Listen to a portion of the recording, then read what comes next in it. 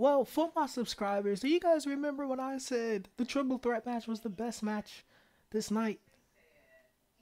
Yeah, I was very, very wrong. That title goes to Drew McIntyre and Randy Orton. and They put on a marvelous match, and it was just beautiful booking. The legends that Randy Orton attacked came back to bite him. Christian, Shawn Michaels, Big Show all came back to interfere into this match. And if it wasn't for the interference, Randy Orton probably would have seen, probably would have won this match. And it's cool. That is the beautiful, the most beautiful booking I've ever seen in a long, long time from WWE. This is something fantasy bookers come up with and and it's just beautiful that I get to see it now play out on live television. Drew McIntyre retains the WWE championship and it's so beautiful to see that.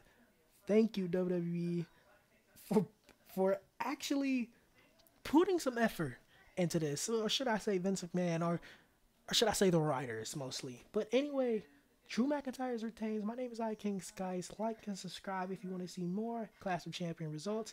And thanks for watching.